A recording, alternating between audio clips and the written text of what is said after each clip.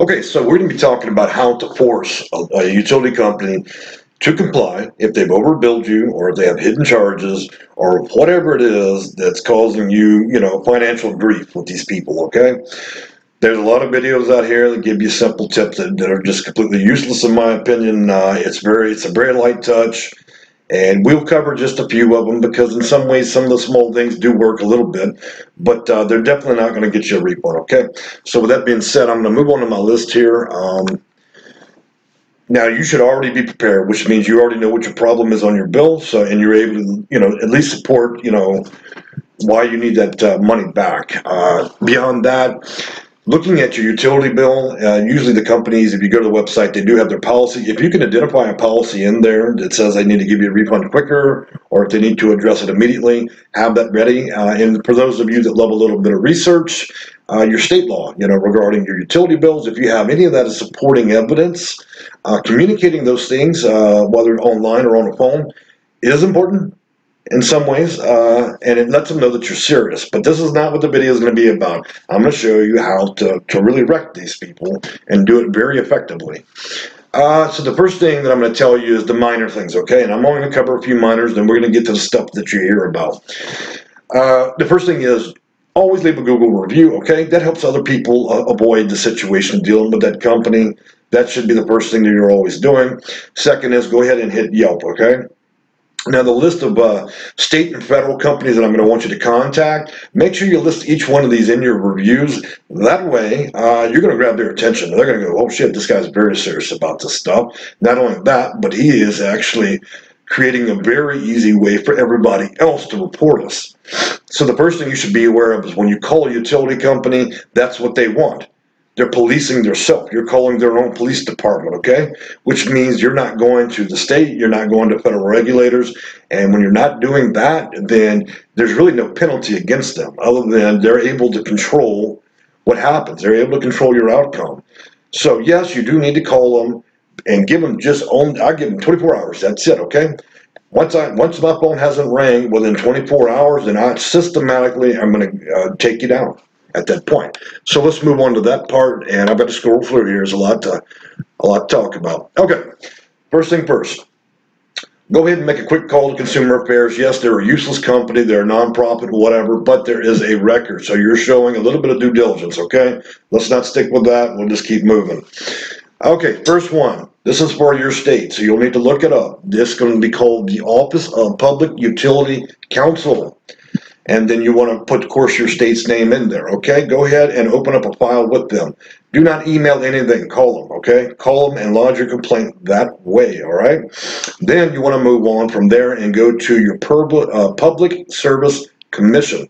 Look, guys, don't worry about the list. I will publish the list at the end, so you don't need to pull out a pen and paper and stop and start the video. So, the first one is the Office of Public uh, Utility Counsel. The second one you want to contact by phone is going to be your Public Service Commission. Remember to type in your state. Then the third thing you want to do is contact your state reliability entity. Okay, that's another regulator. And then you want to contact your Public Utility Commission.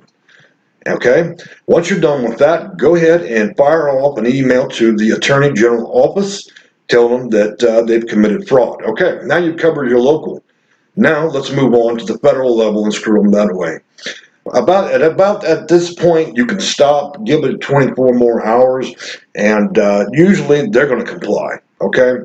Once these, once all these agencies, state agencies, start contacting them, uh, they they're usually really quick to uh, want to negotiate at that point. But if you really want to hammer their ass real hard, you can move on to the federal level. And so we start with the North American Electric Reliability Corporation. They are a nonprofit, but filing with them, they will communicate very quickly to the utility company. That really grabs their attention. And now we're going to move on to the most serious ones. It is going to be the Utility Regulatory Commission. Once you file with those guys, it gets serious. Now you're flagging the company itself. And uh, let me tell you that uh, that counts against the points. Not a lot of people get that far or even know to do that. Once you do that, you're on that you're on that permanent list of a few thousand people that were smart enough to get there, and now you are counting against numbers. You're counting against your actual numbers that count. Okay, let's go on to the Federal Energy Regulatory Commission. Man, let me tell you, uh, that's like taking a baseball bat to their head. They do not, and I repeat, they do not like being contacted by the Regulatory Commission. So going to say it again, it is the Federal Energy Regulatory Commission.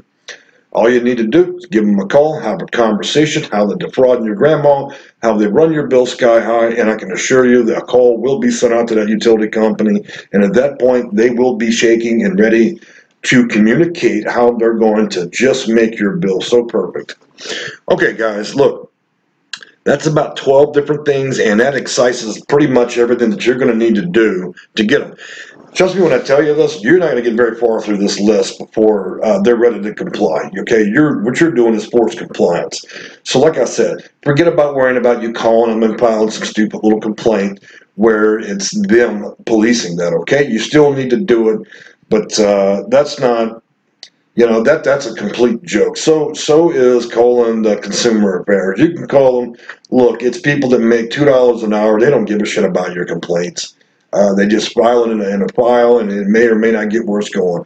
The rest of these state and federal agencies will put the heat on them. The federal ones, man, let me tell you, that counts against them at their audits at the end of the year. That shit's taken very seriously. Um, and at that point, you know, uh, they're ready to negotiate. Let's talk about some things uh, to help you save energy, okay? And I'm going to cover a few of them because I don't think a lot of you guys know this. And even if you look it up, most of the information is misinformation online. And for those of you don't know, uh, I used to be a licensed plumber for about 14 years. So some of the things I'm going to tell you, both plumbing and electrical, I do know my shit about, okay? First thing first, your heating and air conditioning is about roughly 50% of your bill. Look, guys, you're running that air conditioning and you're running that heat all day, okay? You leave, you go to work, you're running it all day. That is absolutely the worst thing that you can do. Uh, look, today, these days they've got Nest and they got all these different programs that can shut that stuff down all day long while you're at work, and you can program it to uh, turn the air or heat back on about 40 minutes before you arrive at home, okay? Uh, that that in itself, just practicing that and not just leaving your house at 74, 73, or 60 or whatever is going to cut your bill in half. I mean, that's half your bill. And you're running this stuff, you're air conditioning your carpet is what you're doing. You're air conditioning your paint job. Okay? You're not going to notice that big of a difference. Okay? Unless you're going to melt your chocolate bars on a counter turn the stuff off. I mean, you're just burning the energy for no reason. I mean, why not make that 50%, uh, 20%? The next thing, biggest offender most people don't even realize is roughly 15% of your bill is your water heater. That water heater is either running off gas or it's running off electric. When it's running off electric, what do you think it does all day? It burns hot. There are elements in there, okay, that stay electrified and occasionally when the water gets too hot, they turn off, okay, on their own, okay? But they don't do that most of the time. They stay on all day, 24 hours a day, all year long. Look, guys, um, go to your breaker when you, when you have your coffee, you get ready to go out to your car, snap the breaker off, and stop running it. Okay, it's not going to break the water heater. The elements are designed to turn on and off all day long. That's what it does. It's part of its function. Go to the breaker, turn it off. And then what you want to do is when you get home, this is not going to kill you. When you get home, you flip it on. Let me tell you something. I've installed thousands of water heaters. That water heater will reheat 40 gallons of water in no less than 30 minutes, unless you've got a really old unit within 30 minutes. I'm sure you can find something to do with yourself for 30 minutes while it reheats that 40 gallons. Okay, so you really only need to have that water heater burning um, at night. And even if you're home all day, if you if everybody's taking showers at night, Turn it off. Turn it off. Seriously, when you go on a vacation, turn it off, and then you can turn it back on. Um, same thing with gas water heaters, uh, but that's a little bit more complex. Um, what you can do is if your water heater is accessible to you, on there is a red dial or a white dial or a black dial, and on there it says very clearly on the dial vacation. Believe it or not, that, that word means exactly what it means vacation. When you go on vacation, it allows you to set the gas level at just enough to keep a tiny flame going, okay? And that's it. So you set that dial to vacation. When you get back home, you'll see there's a little notch on the wheel that'll say uh, low, hot, low, medium, or high. And then you can turn it back up about 40. Actually, gas water heaters light uh, heat water very quickly. So you only have a 20 minute wait. Look, guys, how much trouble does it take three, three, three seconds out your day to lower it to vacation when you leave and then raise it when you get back home? It's not going to break the unit unless you've had it 30 years, okay? And even then, uh, a gas burner is $35, but unfortunately the plumber's a lot more expensive. But you're not at, at much risk if you have a, a fairly new home, okay? Secondly, I want to tell you, washer and dryer. Okay, there's the last 15%. So, washer and dryer it's important. We're all going to have to wash clothes. Hopefully, most of you are just doing it once a week. Look, guys, the biggest offenders is your towels, your blankets, and your sheets, okay? We all know, and we've all done this. You forget about your, your laundry in the washer, and then you realize the next day you've done it. We all know that it's not going to smell any different, not mold. Now, you leave it in two days, it's going to smell, right? Look, guys, take that stuff out, wash it, take it out, lay it out somewhere, put it on, you know, put it out in the open air, not outside and let the stuff mostly dry, okay? Especially blankets and towels. Okay, so you leave it out, you know, four, five, six hours, and stuff's still going to be damp, but you've knocked out 95% of the moisture in that stuff. Then you throw it in the dryer, and there's not going to be any noticeable, noticeable difference when you do it, okay? Look, don't make your washer and dryer strain so hard, especially your dryer, because it burns energy.